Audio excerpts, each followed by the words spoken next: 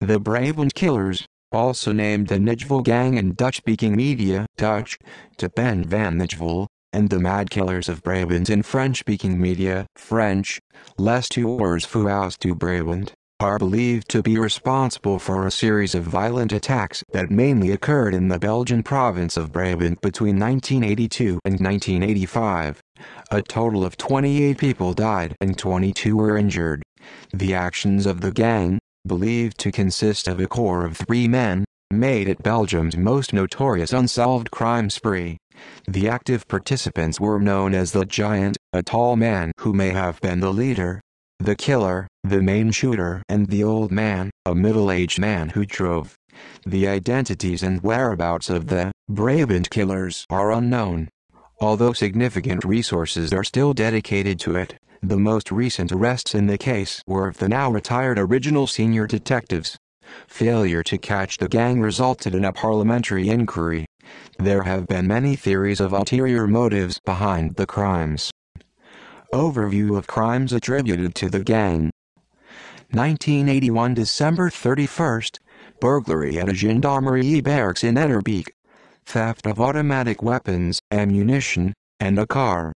Some of these items were later allegedly recovered in a garage belonging to Madani Bouhouch.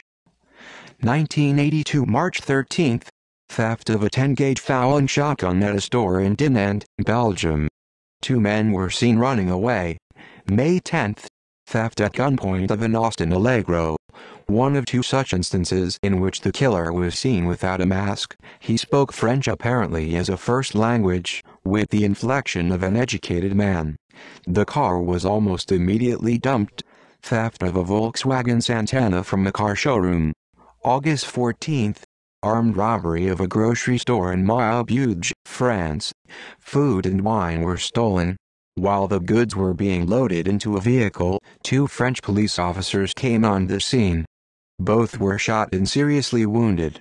September 30th, armed robbery of a weapons dealer in Wavre, Belgium. 15 firearms were stolen, including submachine guns. A policeman was killed at the scene. Two others were shot and seriously wounded later. December 23rd, armed robbery of a restaurant in Beersel, Belgium. Coffee and wine were stolen. The caretaker was tortured and killed. 1983 January 9th, cab robbery and murder in Brussels. The car was found in Mons, Belgium. The taxi driver was killed. January 28th, the theft of a Peugeot at gunpoint. February 11th, armed robbery of a supermarket in Rixensart, Belgium. Less than $18,000 was stolen. Several people were wounded. No one was killed. February 22nd.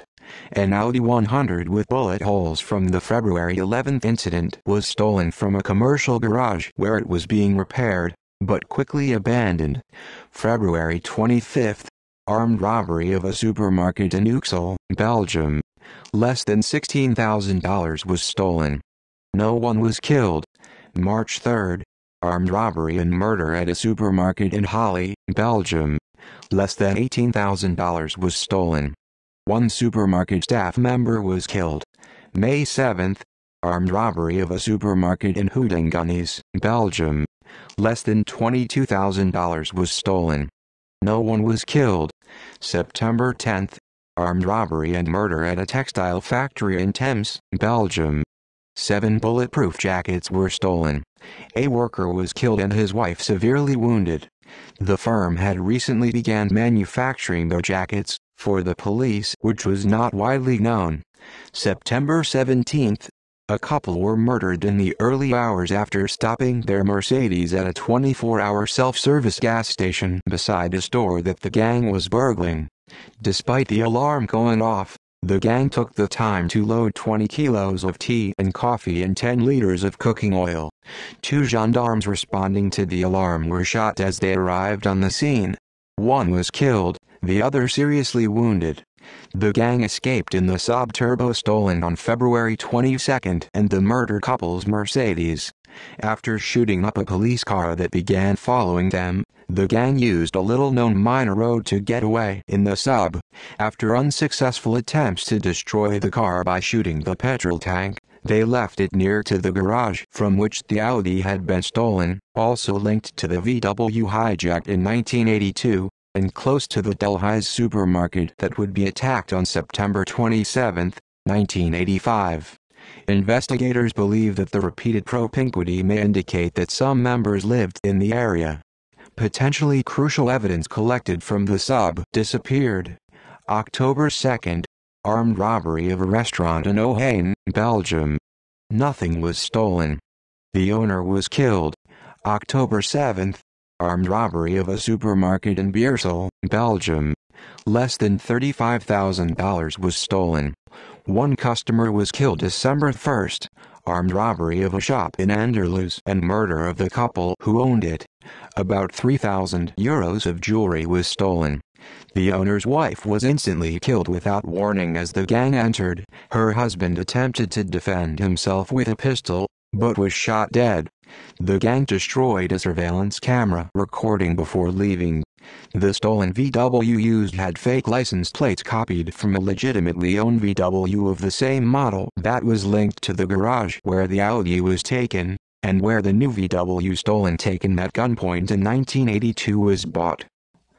1985 September 27th, armed robbery at the Delhaize supermarket on Rue de la Graignet in Braine-l'Alleud.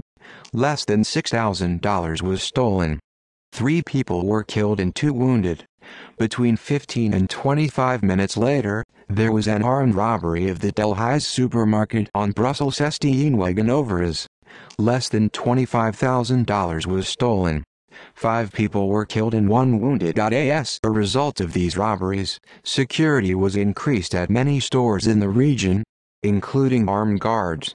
November 9th, around 7.30 p.m., armed robbery at the Delhaize supermarket on the Parklaan in Aalst.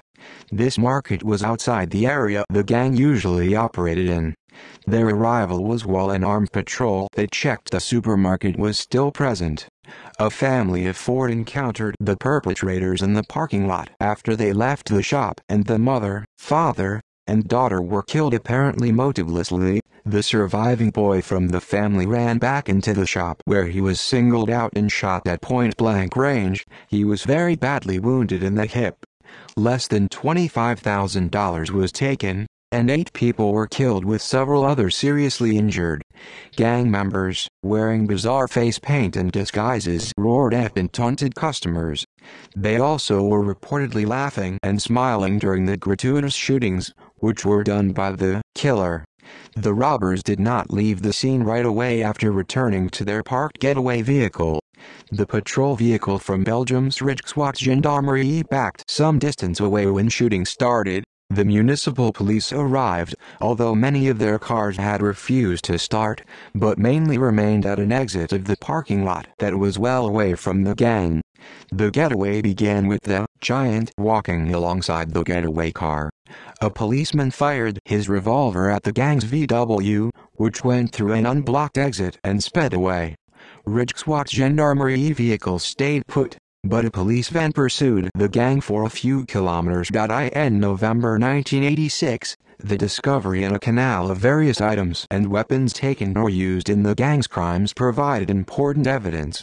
A long-running dispute erupted over the find, amid assertions that the location was checked in 1985, therefore the weapons could not have been there from before that time and a second search must have been done with guilty knowledge. In 2019, the now retired officers responsible for ordering the 1986 search were officially questioned on suspicion of manipulating the investigation, but they protested that original search of the canal was not an underwater inspection by frogmen, as they had done in 1986. A Volkswagen Golf car, similar to that used in the getaway, had been found burned out in 1985 in woods relatively close by to the canal, however it was said the condition of the items meant they could not have been immersed since that time. Method of operation The items taken and paraphernalia they disposed of seemed to indicate that the gang were shooting enthusiasts involved in drug dealing and burglaries, though combining their criminal activity with daytime jobs such as food preparation or scrap metal dealer. In this scenario the crimes were largely for material reward and escalated out of bravado. On the other hand, odd elements were also evident robbery proceeds were modest relative to the extreme risks, and early raids were often amateurish, for example the giant not wearing gloves, and the killer and the old man allowing themselves to be seen without masks while taking a car at gunpoint. The pause in the raids and the killings followed by the escalated resumption in 1985, when a nine-year-old girl and other bystanders were shot dead for no reason in the parking lot before the gang had even entered the supermarkets. Firearms were a particular interest. The 12-gauge pump shotguns used were loaded with a rare buckshot similar to that used by Group Diane. Some policemen thought the gang used tactics in gunfights very similar to those taught on police courses. Cars used, often Volkswagens, were stripped of distinctive trim, vehicle modifications including repainting, and indicated a mechanic's facilities and expertise, but also a desire to retain VW parts. Getaway routes were well planned and navigated at top speed, but the gang were often still on the scene when armed police arrived the gang is believed to have had at least one helper on its last raid. In 1986 weapons that the gang had were found along with bulletproof jackets and other items in a canal about 30 km outside Brussels. The Winchester pump shotguns used in the massacres were never found. Ulterior motives Official complicity The last gang robbery, despite patrols checking the supermarket every 20 minutes led to rumors of them having some kind of inside knowledge and possibly complicity by individual gendarmes in the attacks. Nearby gendarmerie vehicles, which has a semi-automatic FN Uzi in a compartment, did not engage or pursue the gang.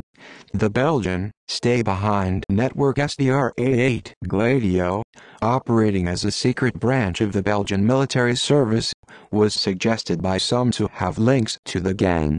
Some units of the stay-behind network were made up of members of the Belgian Gendarmerie. One theory was that the communist threat in Western Europe was taken as justifying Operation Gladio being activated.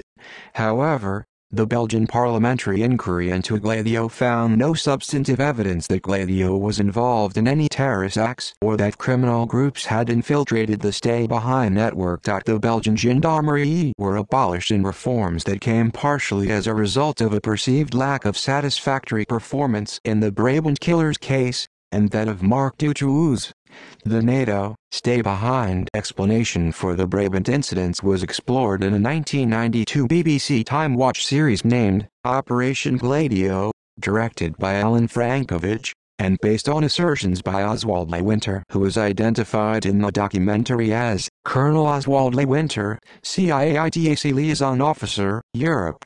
In Francovich's 1994 film, the Maltese double cross, which blames a failed DEA drug sting for the Lockerbie crash that came after publication of the Joint Task Force report giving Lewinter's recantation of his CIA claims in January 1993. Lewinter is identified as CIA 1968-1985.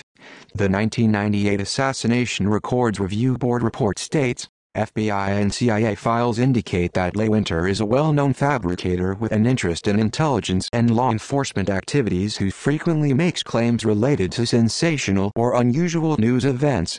The records that the review board examined did not show that Oswald Lewinter was ever employed by or worked for the CIA in any capacity. The program about Gladio in Belgium centered on a by then defunct private Belgian far-right organization named Westland New Post led by Paul Latinus, but although Paul Latinus told subordinates he was working with government agencies along the same lines as Gladio, whether he actually had any official sanction or was lying to make himself seem more important is unknown. Westland New Post in 1979, Latinus founded Westland New Post with members of Front la a paramilitary far-right group that was investigated after a 1980 incident in which a member shot at a group of North Africans, causing one death and a national outcry. The killer was with a firearms enthusiast who was a friend of Madani Bouhouch, and decades later let him stay in a French property after Bouhouch was released on license from a life sentence for two murders. The milieu of WNP included a former member, now deceased, of the OAS, and several others from the Front Jeunesse who conducted paramilitary firearms training in some of the forested areas that were later used by the Brabant killers. The WNP was a secret organization. Speculation about a connection to the Brabant killers increased after former WNP members, including the only gendarmerie, recall being ordered to covertly surveil and compile a report on security arrangements at Belgian supermarkets of a large chain that was targeted by the killers. WNP had a genuine intelligence operative advising on covert techniques. NATO behind the lines units are known to have used the planning of robberies as a training exercise. Michel Libert, the former second in command of Westland New Post, admitted passing on Leyton's orders to gather detailed information on supermarkets with a view to robberies, but denied knowing of any purpose to the assignments beyond developing clandestine skills. Marcel Barbier, an enforcer-type WNP member who lived with Libert, was arrested in August 1983 after a shooting, and became suspected in a double murder at a synagogue a year earlier.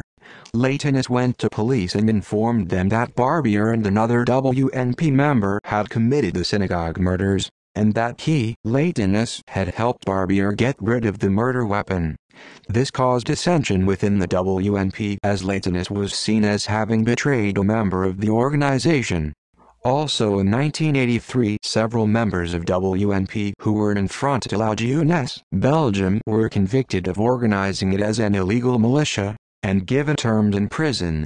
Leading WNP members were also arrested for unauthorized possession of low-level classified NATO documents. Latinus committed suicide in April 1984, and his followers formed rival cliques. Some theories have connected these facts to the inactivity of the Brabant Killers gang between December 1983 and September 1985, and them having a seemingly intensified grudge against society during the supermarket massacres of the 27th of September and the 9th of November, 1985. Barbier was convicted for the synagogue murders. His co-accused, WNP member Eric Lamers, was acquitted of murder but received five years for other offenses, and in 1991 was convicted of a separate double murder. Lamers fled the country after being accused of a sexual exposure against a child and accessing images of child sex abuse. After he was brought back from Serbia, he appeared in a 2014 Belgian TV program in which he accused WNP leaders of being behind the Brabant killings, based on WNP reconnaissance on the supermarket chain whose premises were subjected to the murderous attacks of 1985. Libert was arrested as a suspect soon after the program was broadcast, but released without charge after 48 hours. In 2018 a former subordinate of Libert publicly accused him of being the giant, although without any official reaction. Libert went on television to yet again deny the allegations, and said the accuser had mental health difficulties. Other speculation Various conspiracy theories link the killings to political scandals, suggesting they were done to disguise a targeted assassination. In one version, connecting the killings to illegal gun-running mafias and legitimate businesses. A banker by the name of Leon Finn, who was shot by the gang in Overijse, was supposedly targeted deliberately.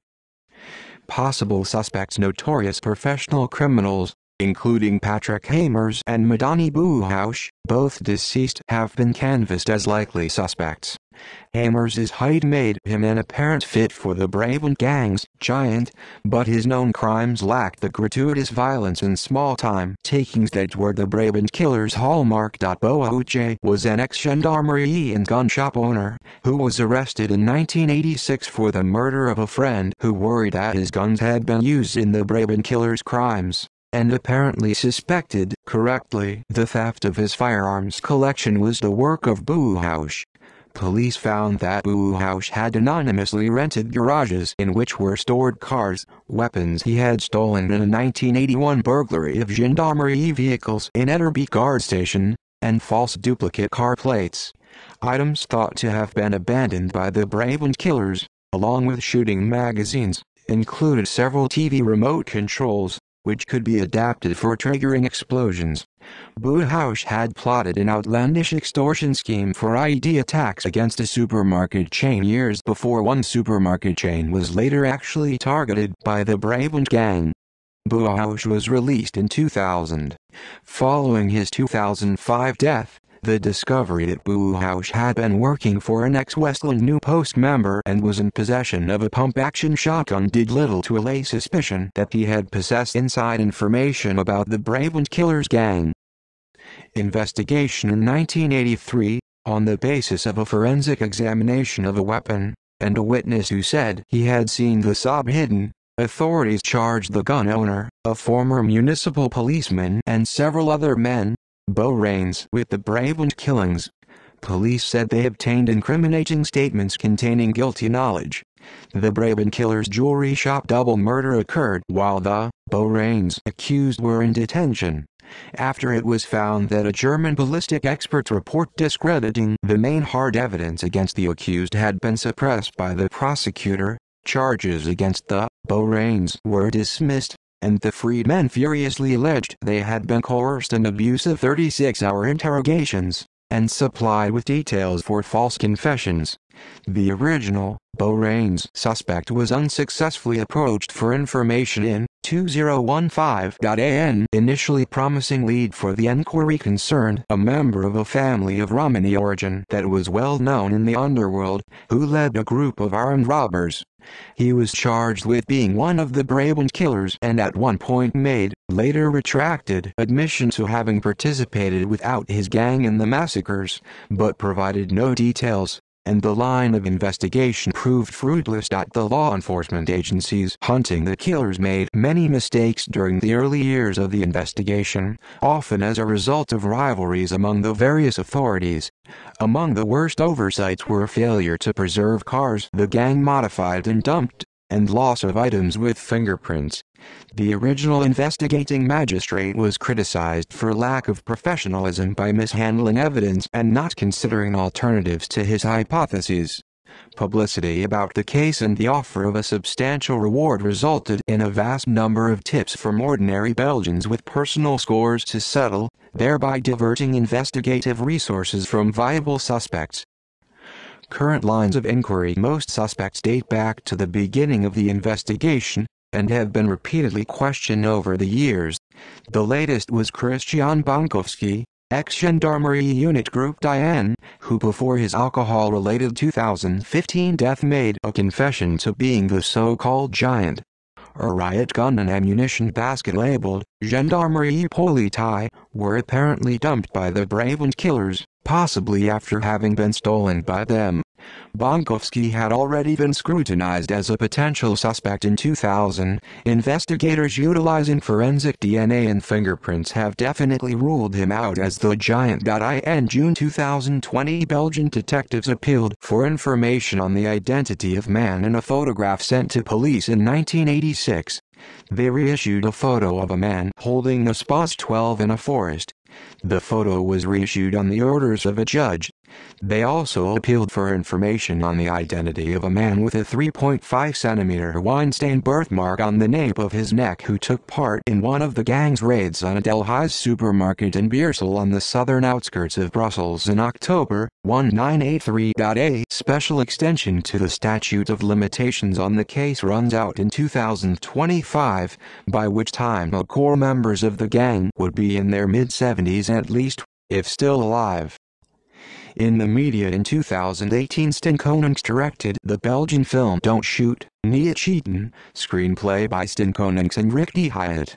It is based on the last, November 9, 1985 bloody raid by the Brabant killers on the Delhaize supermarket in Aalst. Eight innocent people were murdered, among whom were Gilbert and Therese van Steen and their daughter Rebecca. Their nine-year-old son David, although critically injured in the leg, survived the shooting and was raised by his grandparents. It follows the 25-year-long Battle of Albert, played by Jan Decleir, his grandfather, to bring the killers to justice. See also Alcàsser Girls. References External links media related to Brabant Killers at Wikimedia Commons.